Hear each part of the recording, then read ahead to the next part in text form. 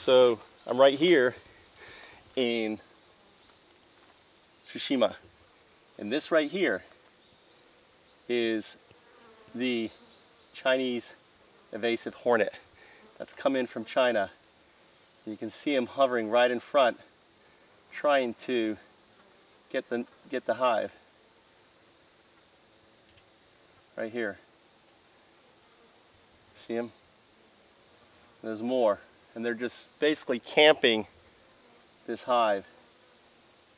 Just picking off bees. These poor little girls. Hey girls. Poor little girls as they come in. It's right here. It's a problem.